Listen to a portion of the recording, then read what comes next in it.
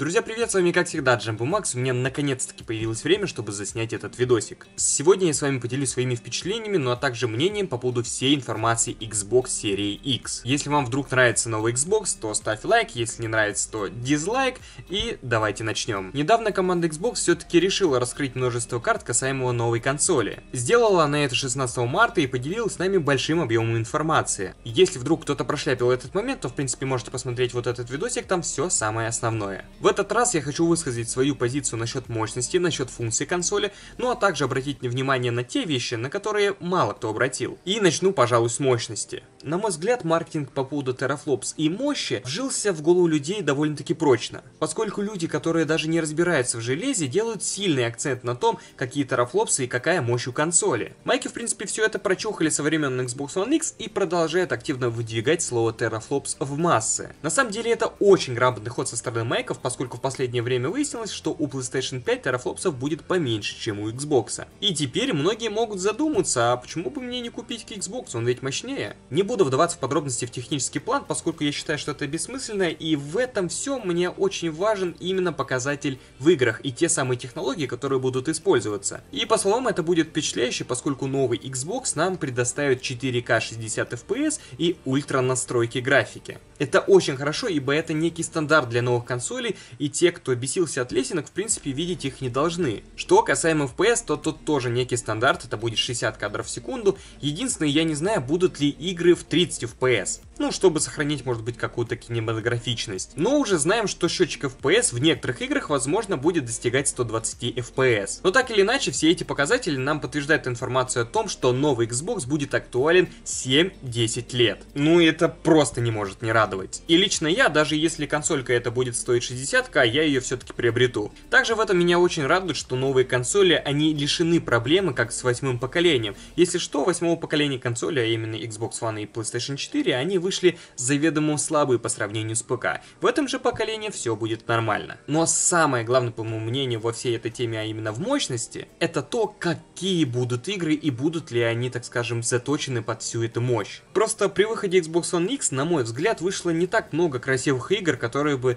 показали нам все соки той самой мощи. Те же эксклюзивные игры, по большей мере, к сожалению, нам предоставляли либо мультяшную графику, либо топорную анимацию, как в State of Decay 2. И если такая тенденция игр продолжится, и нам будут дальше клепать хайповые AA проекты, то смысл тогда в этой всей мощи? Знаете, мне в этом вопросе больше все-таки нравится позиция Sony, поскольку они свои игры пытаются сделать красочнее, естественнее и реалистичнее нежели плавнее и четче. И в этом случае я очень надеюсь, что все внутренние студии майков пили такие проекты, от которых мы просто офигеем. Очень жду, что нам предоставит студия Inxel, я на них ставлю большие ставки, поскольку там набирается такая команда, которая уже ранее работала над крупными и крутыми проектами. И в принципе из-за этого я считаю, что они не должны подкачать. И в этом случае, мне кажется, разумнее говорить о мощи тогда, когда нам покажут новые игры, и в принципе мы увидим новую Next Gen графику. И она, кстати, скорее всего, будет касаться именно трассировки лучей. И на мой взгляд, нужно радоваться как раз таки этой технологии, поскольку она а, делает картинку реалистичнее, ну а также разницу в картинке можно будет заметить абсолютно на любых телеках. Единственный вопрос по этой технологии у меня возникает в том, будет ли эта технология применена абсолютно во всех играх. Но здесь поживем и увидим. Насчет той самой флешки, которая будет стоить очень дофига, но обеспечит нам а, высокую скорость загрузки и запуска игр. Скорее всего, этот шаг он вынужденный, поскольку старые накопители уже не могут предоставить столь быструю скорость загрузки флешки. И если вдруг кому-то не будет хватать терабайта, то он будет вынужден покупать либо эту флешку, да, супер дорогую на 1 терабайт, либо продолжать использовать жесткие диски, но взамен а, будет урезаться скорость загрузки и запуска игр. И на мой взгляд, 1 терабайта не хватит лишь тем, кто играет в несколько игр сразу, кто любит ностальгировать, у кого закачаны сразу практически все игры, ну, либо тем, у кого слабый интернет, и они не могут просто удалить игру и скачать новую. Просто лично мне даже 500 гигабайт хватает, я просто удаляю старые игры, которые не играю и закачиваю новые. Что касаемо самой консоли и ее внешнего вида.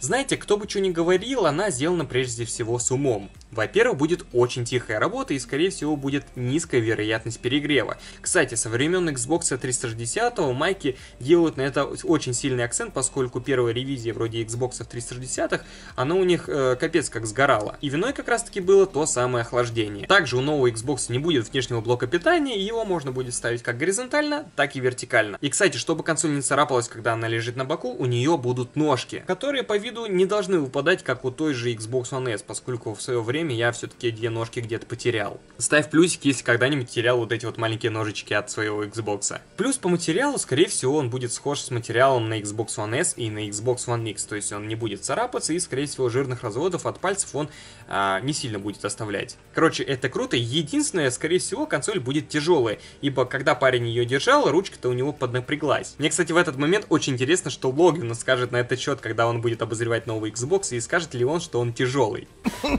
Это не наиграно, правда. Кроме того, что он, сука, тяжелый. Но опять же, я считаю, что это не такой весомый критерий, чтобы как-то на нем останавливаться. Также они наконец-таки приоткрыли занавес на тот зеленый круг сверху консоли. Если что, это некая оптическая иллюзия, которая будет просто напоминать о цвете консоли. И если что, она, к сожалению, не горит. А жаль, было бы прикольно. И знаете, несмотря вот на такой вот замороченный дизайн, он клевый, строгий и в нем нет ничего лишнего. И самое главное то, что его можно будет легко кастомизировать, наклеив туда какие-нибудь наклейки. Плюс сам вид, я считаю, что он в принципе поддерживает концепцию самого названия, типа Xbox, X-коробка. Короче, не знаю как вам, но лично мне дизайн очень нравится. Насчет геймпада. Он стал выглядеть проще и, по словам, он должен быть удобнее для маленьких рук. Но в этом моменте меня больше интересует его качество, так как геймпады Xbox One у меня очень часто ломаются. И если у нового геймпада будут такие же стики, такие же бампера, то это будет все-таки проблема. Насчет кнопки поделиться. На самом деле она мне показалась какой-то очень подозрительной и кажется, что она просто ни к чему. И сейчас я объясню, почему я так думаю. Дело в том, что при записи скриншота или какого-нибудь видеоклипа вы сначала нажимаете на светящуюся кнопку. И при условии, если это, так скажем, не фейк инфа и у нового Xbox будет старый дашборд, то зачем эта кнопка? И мне кажется, не будет разницы нажимать центральную кнопку или на светящуюся кнопку, поскольку тебе все равно в конечном итоге надо будет нажимать две кнопки. Просто в данном дашборде это делается так. Нажимаешь сюда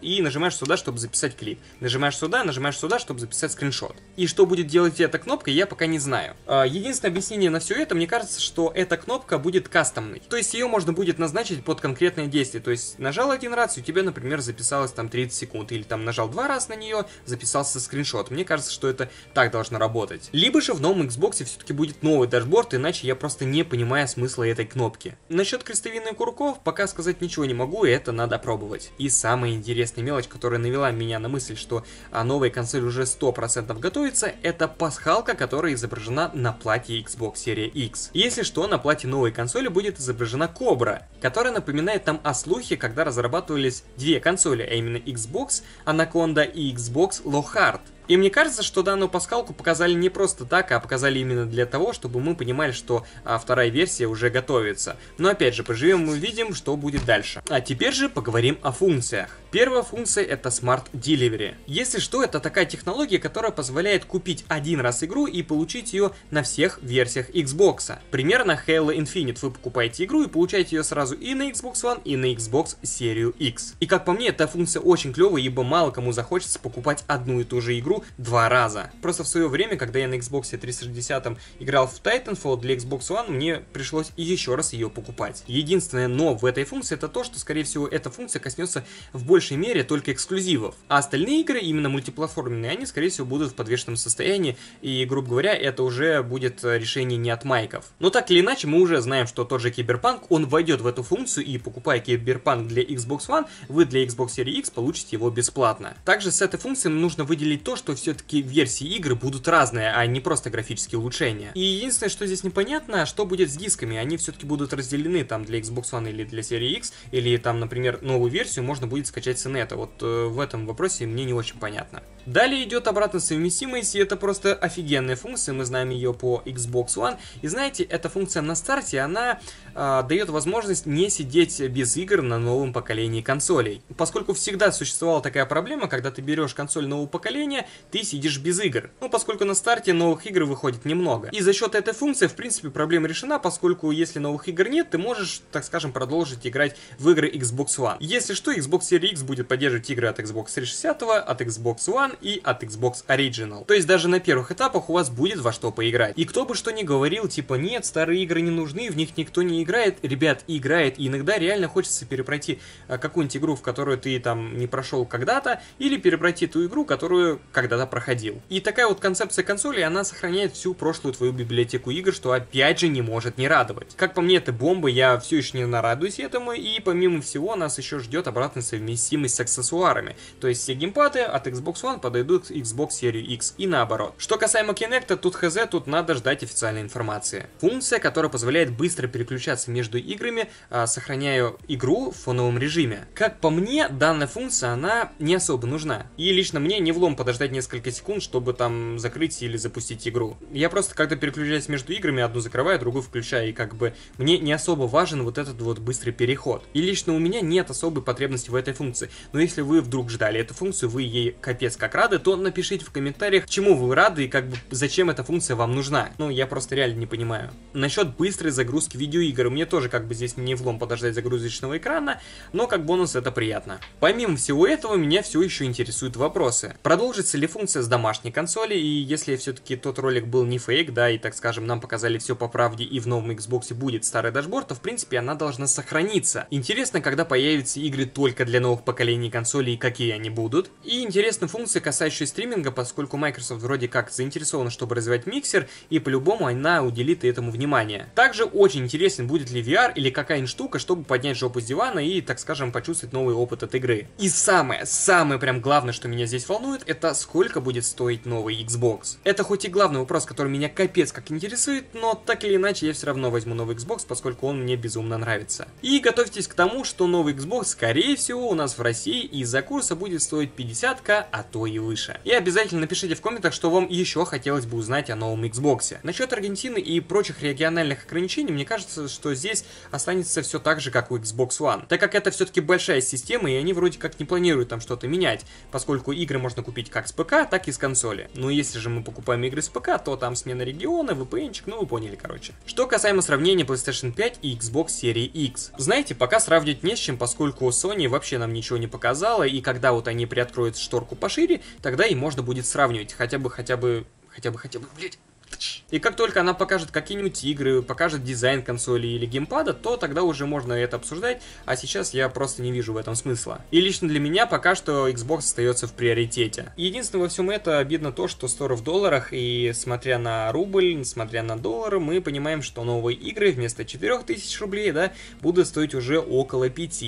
И как бы фиговенько. Если кто-то думает, что Microsoft пойдет на снижение цен, то, мне кажется, забудьте об этой идее, они вряд ли это сделают. На данном этапе, обобщая всю информацию о Xbox Series X, хочу сказать, что мне новый Xbox абсолютно нравится. И как только он появится в продаже, я его обязательно возьму. В общем, ставьте плюсик, если тоже хотите купить Xbox, ставьте лайки, если вам понравилось это видео, подписывайтесь на канал и не забывайте писать свое мнение в комментариях. Ну, напишите, чем вам нравится новый Xbox, чем нет, интересно все-таки почитать. В общем, большое спасибо вам за просмотр и до новых встреч!